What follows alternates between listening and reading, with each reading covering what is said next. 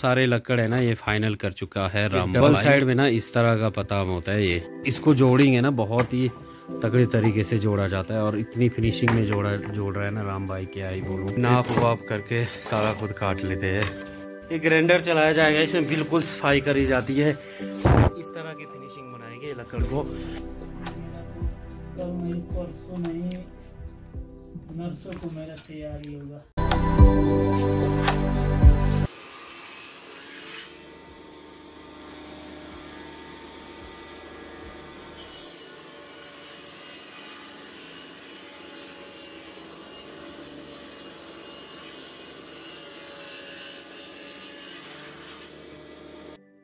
तो hello everyone कैसे हैं आप सभी? आई होप कि आप सब अच्छे होंगे।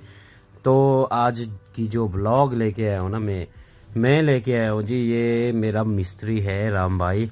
तो ये भाई साहब जो है ना, एक घर में जो है पेलिंग कर रहे हैं।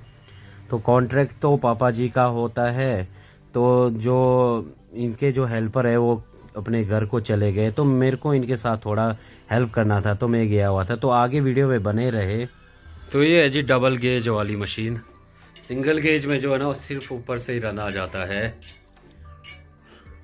और डबल गेज में ये देखिए, ये डबल साइड से ना लकड़ को साइज़ बना के भेजेगा।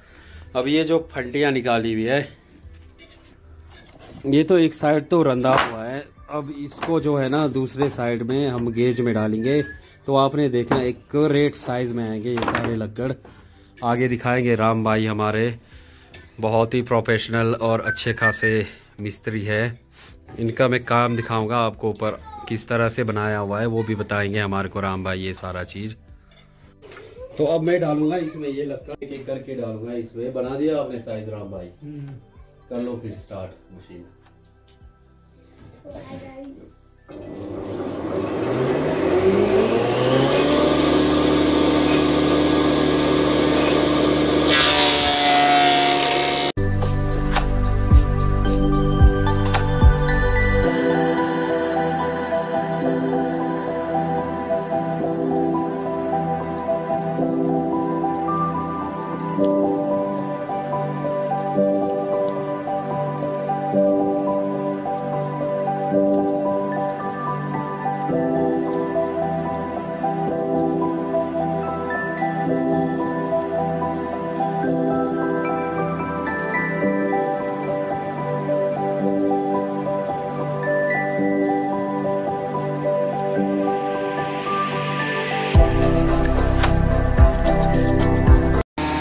अब वहाँ पे बंदा जो है ना जीरी निकालनी है तो पताम के लिए वहाँ पे अड्डा बिठा रहा है। आ, किस तरह से निकल जाएगा मैं आपको बाद में दिखाऊँगा। ये मशीन की ज़्यादा शोर है। अभी ये कटर से ही निकालते हैं हम लोग इसको।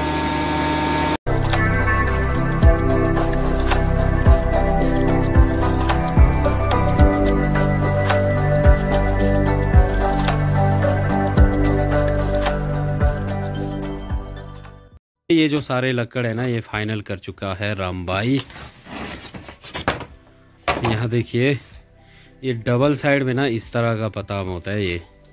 इस तरह से और ये जब इसको जोड़ेंगे ना, बहुत ही तगड़े तरीके से जोड़ा जाता है और इतनी फिनिशिंग में जोड़ा, जोड़ रहा है ना राम भाई, क्या ही बोलूँ। आपने काम देखना, ऐसे जोड़ेगा। काफ़ी अच्छी पेलिंग करी हुई है सीलिंग के साथ पेलिंग भी। इस तरह से जुड़ते जाएँगे सारे फंटिया इस तरह से। तो चलो आगे दिखाऊँगा मैं आपको ऊपर, जहाँ पे काम हो रहा है। तो यहाँ है राम भाई लगे हुए। नमस्कार। ये देखिए जी, इनकी कारीगरी। कल जो आपको मैंने वीडियो पे बताया हुआ था ना, कि किस तरह से जोड़ते हैं, ये देखो। वो जो सारी फंटियाँ निकाली हुई है, वो इस तरह से है। बड़े अच्छे कारीगर हैं हमारे राम भाई। अपने लिए काफ़ी अच्छा टेबल बनाया हुआ है, ऊंचाई में ये है जी ग्राइंडर ये ग्राइंडर चलाया जाएगा, इसमें बिल्कुल सफ़ाई करी जाती है। इस तरह की फिनिशिंग बनाएँगे लकड़ को।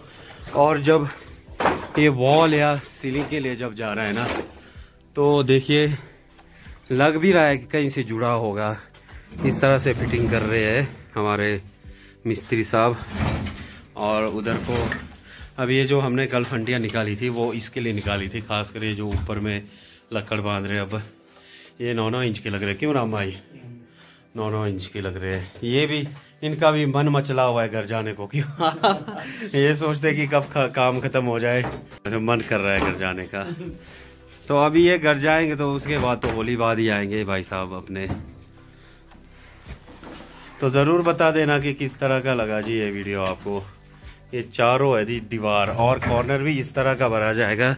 ये चारों चार कोने ना इस तरह का भरा जाएगा। यहाँ देखो एक कोना भरा हुआ है मैं आपको दिखाता हूँ।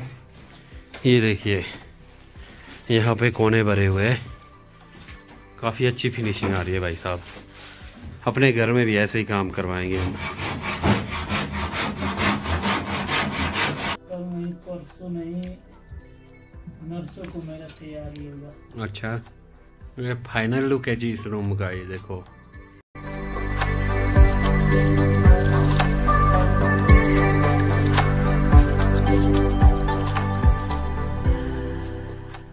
अब ये कोना बचा हुआ है चलाई चली गई है। तो भाई साहब यहाँ पे थोड़ी सी फिटिंग विटिंग कर रहे हैं फिनिशिंग कर रहे हैं। तो कैसी लगी ये वीडियो ज़रूर बताइएगा, मिलता हूँ एक और वीडियो में। तब तक के लिए tata bye bye and take care